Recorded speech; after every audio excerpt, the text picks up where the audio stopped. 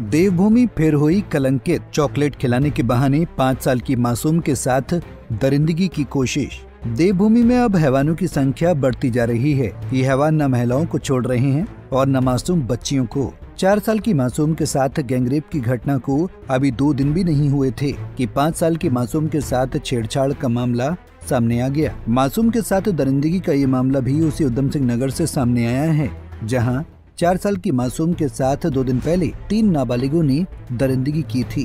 रुद्रपुर के आदर्श नगर में एक पाँच साल की मासूम बच्ची अपने घर के बाहर खेल रही थी। तभी पड़ोस का राहुल नाम का युवक वहाँ आया और मासूम को चॉकलेट दिलाने के नाम पर अपने कमरे में ले गया। कमरे का दरवाज़ा बंद कर उससे छेड़छाड़ करने लगा। मासूम बच्ची ने देखा तो उसको लगा कि कुछ गलत हो रहा है तो वो घबरा गई और चीखने लगी, जिसके बाद आरोपी डर के मारे वहाँ से भाग गया। मासूम बच्ची घर पहुँची तो उसने अपने साथ हुई आप बीती अपनी माँ को बताई।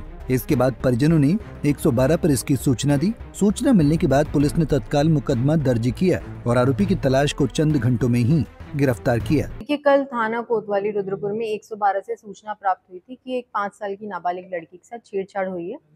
सूचना मिलते ही तुरंत मौके पर पुलिस पहुँची थी, जिसमें हमारी महिला कर्मचारी भी थी, महिला सब इंस्पेक्टर भी थी। तो ये वहाँ जाके ये पता चला कि एक पाँच साल की नाबालिग लड़की जो आदर्श कॉलोनी की निवासी है और आसपास ही रहने वाले युवक जिसका नाम राहुल ढींगरा है, जिसकी उम्र तीस वर्ष है, उसके द्वारा उसके साथ छेड़छाड़ की गई।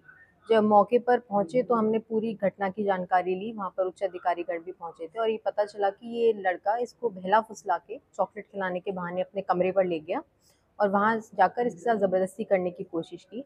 लड़की छोटी थी बट समझदार थी, उसको लगा कि कुछ गलत हो रहा है, मेरे साथ दरवाज़ा बंद किया गया कमरे का तो वो चीखी। जब वो चीखी तो अभियुक्त जो था वो हमारा डर गया और ये लड़की भागकर अपने घर आ गई और इसने अपने घर वालों को पूरी जो भी घटना थी वो बताई।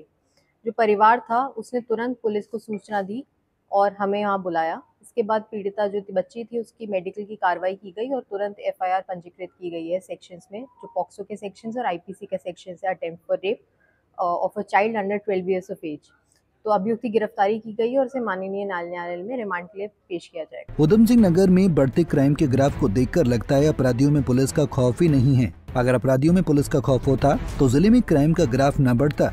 हत्या, लूट, अपहरण और रेप की सबसे ज़्यादा मामले उत्तराखंड में उधम सिंह नगर ज़िले से ही आ रहे हैं। महिलाओं पर हो रहे अपराध के मामले में भी उधम सिंह नगर प्रदेश में नंबर वन है। उधम सिंह नगर से पंजाब केसरी टीवी के लिए निजामुद्दीन शेख की रिपोर्ट।